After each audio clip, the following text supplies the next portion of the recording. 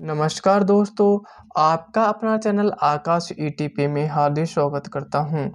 और आज हमारी स्टोरी टाइटल है द गैम्बलर्स विजडम। गैम्बलर्स यानी होता है जुआरी, ठीक है? विजडम यानी होता है बुद्धि, यानी जुआरी की बुद्धि या जुआ खेलने वालों की बुद्धि। चलो स्टोरी को स्टार्ट करते हैं। There were two gamblers Ramu and Sonu. वहाँ दो जुआरी थे, कौन? रामू और Sonu who were addicted to playing the dice game all the time ठीक है? एडिक्टेड यानी होता है आदि या आदत पड़ना ठीक है? या लत पड़ना प्लेइंग मीन्स होता है खेलना। डाइज यानी होता है पासा, जो कोठियाँ होती है, उसे बोलते हैं, ठीक है? गेम यानी खेल टाइम यानी समय। जो जो हर समय, जो हर समय पासा का खेल खेलने के आदि थे। While Ramu was very straight forward and honest in his game straight forward यानी होता है सीधा होनेस्ट यानी ईमानदार। रामू अपने खेल में बहुत सीधा और ईमानदार था।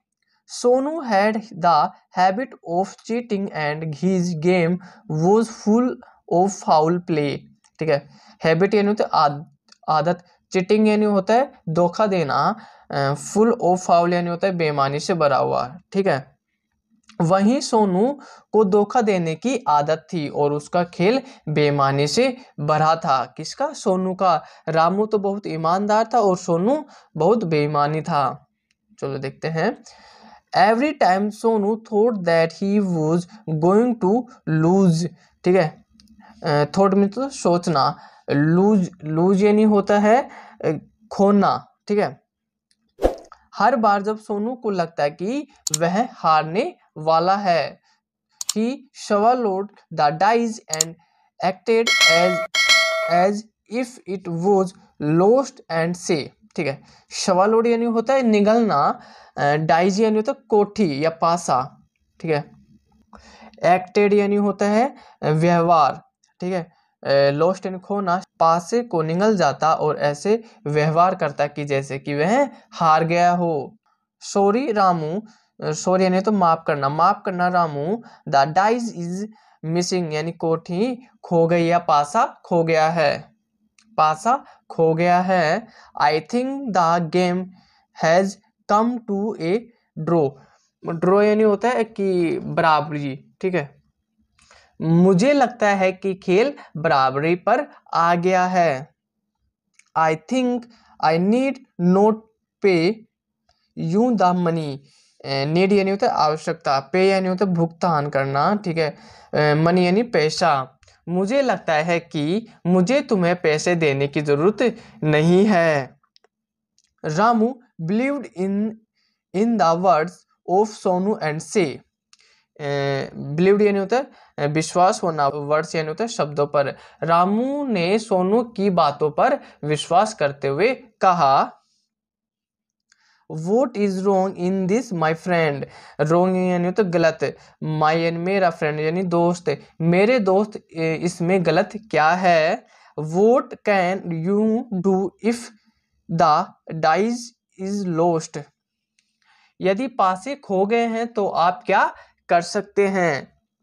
You need not pay the bet amount bet यानी होता है कि कि किसी चीज़ पर हम ऐसे लगाते हैं ना पाँच से पर आज इतने पाँच की चाल चार की चाल उसे बोलते हैं ठीक है? अमाउंट यानी होता है पैसा।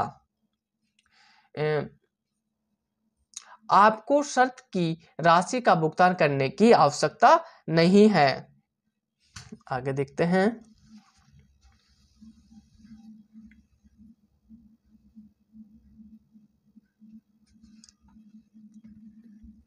वन डे एक दिन Ramu found out the Sonu was cheating ठीक है? फाउंड तो पाना चीटिंग नहीं तो धोखा देना. एक दिन रामू को पता चल गया कि सोनू धोखा दे रहा है. In order to teach him a lesson Ramu soaked the dice in mild poison and brought it to play ठीक है, देखते हैं बड़ा हुआ है। टीच यानी होता है सिखाना लेसन यानी होता है पाठ या सबक, ठीक है। शोक डे यानी होता है भिगोना। डाइजी यानी होता है, डाइसी डाइसी यानी होता है पासा। माइल्ड यानी होता है हल्का। पोइजन यानी होता है जहर। ब्रोट यानी होता है खेलने के लिए। उसे सबक सिखाने के लिए रामू ने पासे को हल्के जहर में भिगोया और खेलने के लिए लाया। As usual when Sonu found that he was going to be the loser ठीक है? हमेशा लूजर ये होता है हारना, ठीक है? हमेशा की तरह है जब रामू को लगा कि वह हारने वाला है ही शवालोड द डाइज और वह डाइज नहीं होता है पासा तो वह पासे को निगल गया। To his grief Sonu fell terribly sick grief यानी होता है दुख फेल यानी होता है गिरना टेरिबली टेरिबली यानी होता है बहुत सिक यानी होता है बीमार। तो अपने दुख के कारण सोनू बहुत बीमार पड़ गया। Ramu visited him and said visited यानी होते भ्रमण करना या जाना, ठीक है? रामू उसके पास गया और बोला सेडिन कहा soon you shall be normal my friend soon यानी होते जल्दी नॉर्मल यानी होता है सामान्य। कि जल्द ही तुम सामान्य हो जाओगे मेरे दोस्त। I have talked with the doctor. Talked यानी होता है बातें। ठीक है? मैंने डॉक्टर से बातें की हैं। I wanted to teach you a small lesson for always cheating ठीक है? स्मॉल यानी तो होता है छोटा। लेसन यानी होता है पाठ या सबक ऑलवेज यानी हमेशा चीटिंग नहीं होता है धोखेबाज मैं तुम्हें हमेशा धोखा देने के लिए एक छोटा सबक सिखाना चाहता था। Don't ever be the cheater, ठीक है? चीटर यानी होते बेईमान। कभी भी धोखेबाज मत बनना। Sonu understood and felt sorry for his degraded behaviour ठीक है? डिग्रेटेड यानी होता है अपमानित।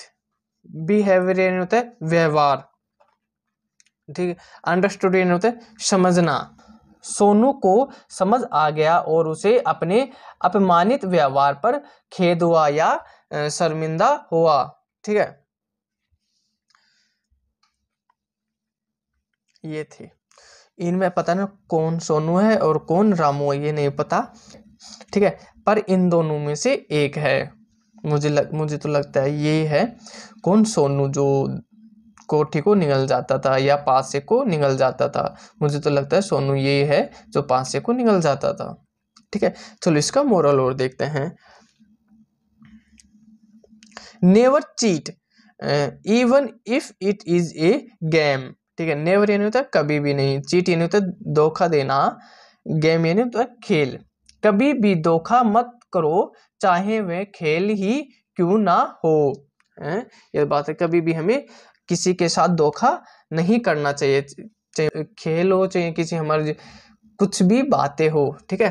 कैसी लगे छोटी सी स्टोरी अगर थोड़ी भी पसंद आए तो चैनल को लाइक शेयर एंड सब्सक्राइब करना बिल्कुल भी नहीं भूलिएगा। आपका दिन शुभ हो। Thank you